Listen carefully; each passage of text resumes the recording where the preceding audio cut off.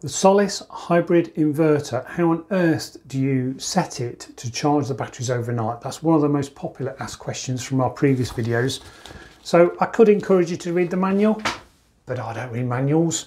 So my Sparky Chris helped me to set this. So I'm going to show you now how you can get into the menus and tell the hybrid inverter when to charge your Pylontech batteries.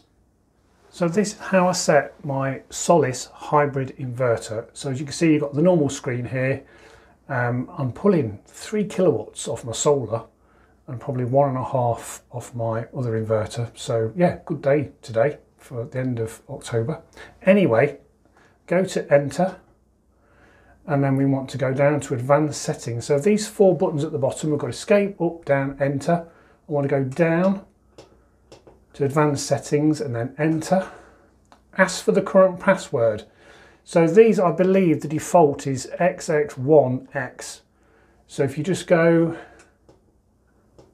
like that and then up for the one and then down again and then enter, it gets you into this sub menu. Want to scroll down to storage energy set, enter, and then of these we want the storage mode select enter time charging because we want to charge the batteries at a certain time off the grid enter. And then we have the charge times. So we can scroll down to the charge limit that it takes it in and the discharge limit in amps and then the charge time.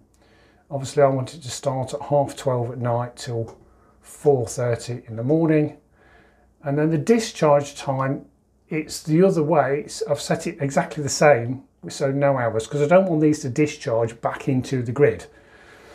So when you're happy, just press escape and then enter for cancel and exit and it says done. And then you can press escape back to the main menu. And that's it, that's the timer set up. Now in the summer, I can turn that timer off. Instead of run, I can put stop and then it won't pull off the grid in the summer. So there you go, how to set the hybrid inverter from Solis. Hope that's been useful. Um, don't forget, uh, there's my other two videos, but don't watch them because it'll only encourage me to do more of these videos. Anyway, thanks for watching. See you next time.